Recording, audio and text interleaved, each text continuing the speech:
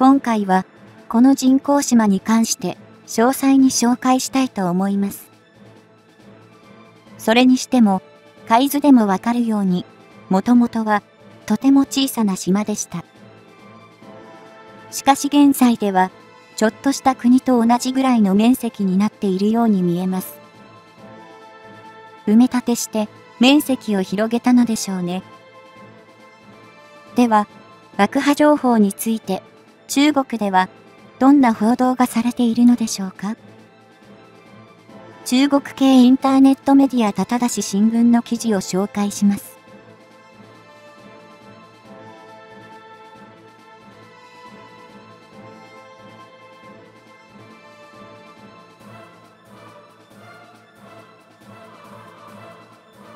最近、南シナ海での警護任務のため、クワッドタスが結成されたことで、いよいよ中国包囲網が完成するのではと感じられます。日本にとっては朗報ですし、昔の宗主国とはいえ、圧迫されることも多い韓国にとっても、良いニュースと思われたのですが、アメリカと同盟国のはずの韓国には、何やら不穏な動きが見受けられます。そして、中国が目の敵にしている台湾問題も無視できません。台湾が現在建造中の最初の潜水艦の情報に関しても、今後のアメリカ大統領の動きによっては、大事な情報が盗まれるのではないかという恐れもあるようです。そんな中、中国で噂されている、こんな話を知っていますか？中国は、自国の領海だと主張する南シナ海に、勝手に人工島を作り上げました。小さな島ですが、それが爆破されるという噂があるのです。2020年7月、アメリカ政府は、中国が知的財産を盗んでいる報復に、ヒューストンの中国総領事館の閉鎖を命令しました。それだけではなく、中国が南シナ海の干渉を勝手に埋め立てて作った人工島などに奇襲攻撃をかけて消滅させてしまう可能性が高いとまで言っているのです。南シナ海は中国が実効支配を続けている海域です。この南シナ海ですが、世界全体の4分の1を占める海運物流の要所です。日本にとっても中東各国からの原油を輸入するための重要なシーレーンというわけです。よく聞く単語ですが、改めて説明しますと、シーレーンというのは、ある国にとって通商上も戦略上も重要な価値のある場所で、有事に際して絶対に確保するべき海上交通路を指します。原油を輸入に頼っている日本としては、南シナ海は最重要シーレーンと言えましょう。近年、南シナ海では中国が20世紀初頭に定めた九段線の地図を根拠に、水域の8割の領有権があると主張し始めました。そして、干渉を埋め立てて人工島を作り、その土地に軍事基地を建設したりな、どの行動を起こしているので、周辺の諸国との摩擦が大きくなっています。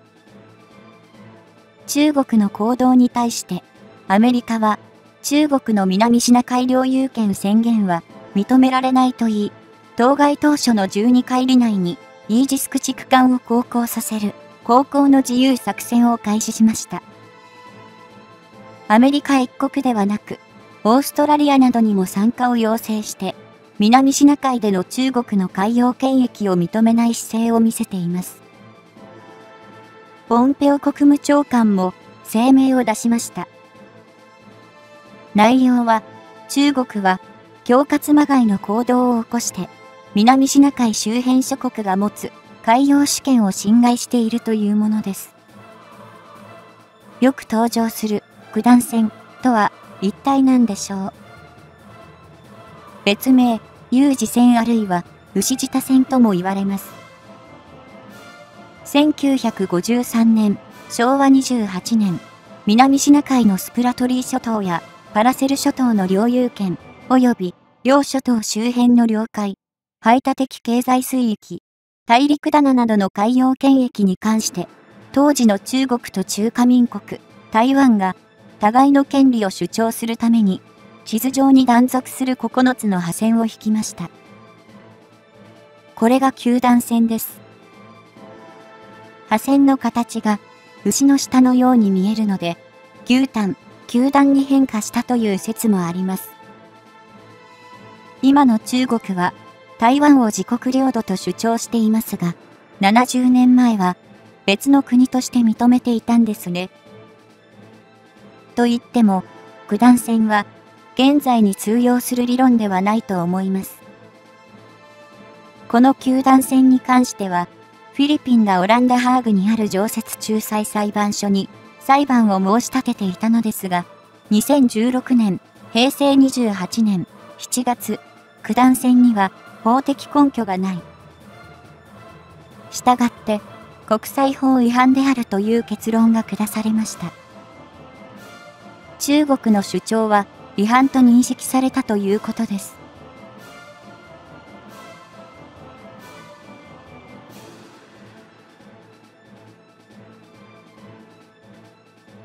アメリカは、この判決を根拠として中国の実効支配への動きに反発し、2020年7月前述のポンペオ国務長官の声明が発表されたのでした。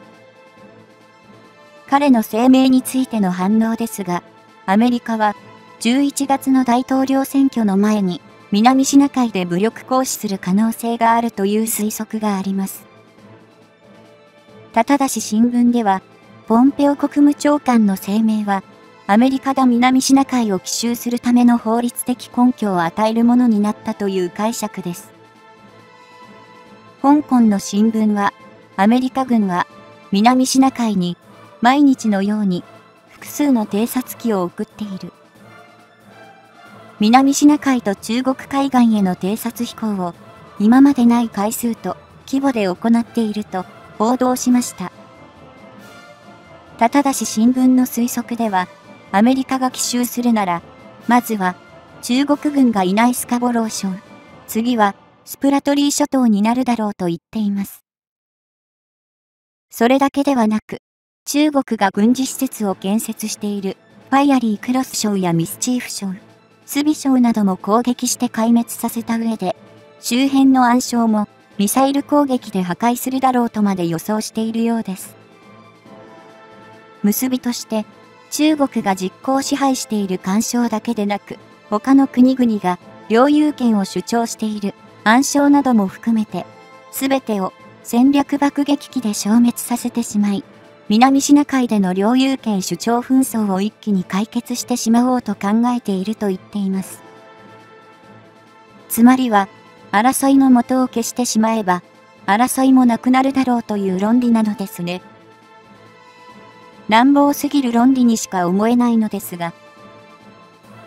干渉を破壊したら、海の環境破壊にもつながってしまいますし、こういった報道に対する中国の反応です。北京の外交筋では、奇襲攻撃の前に、アメリカから人工島に建設した軍事施設を撤去しろという要求が来るはず。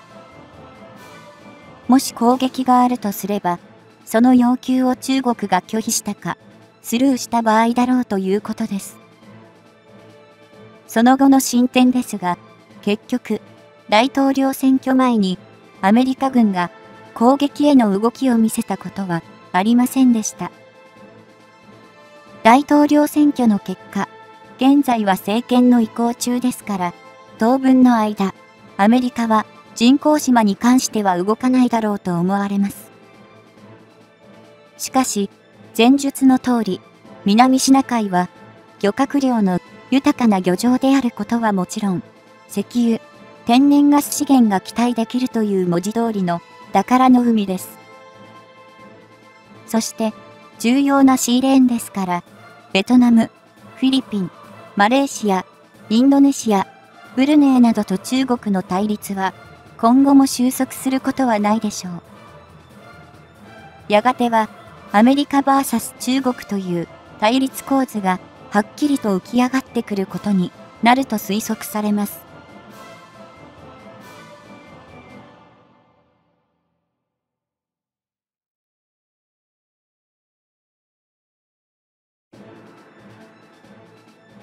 昔の統治国として、香港問題などに目を注いでいるイギリスは、最新鋭空母クイーンエリザベスを中心とした空母打撃群を南シナ海に派遣して中国を牽制しています。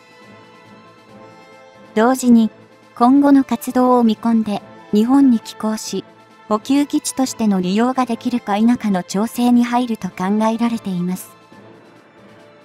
このような状況の中、中国人民解放軍は2020年8月に実施した対艦弾道ミサイルの発射実験でターゲットの船に2発を命中させ沈めたことを公表しました。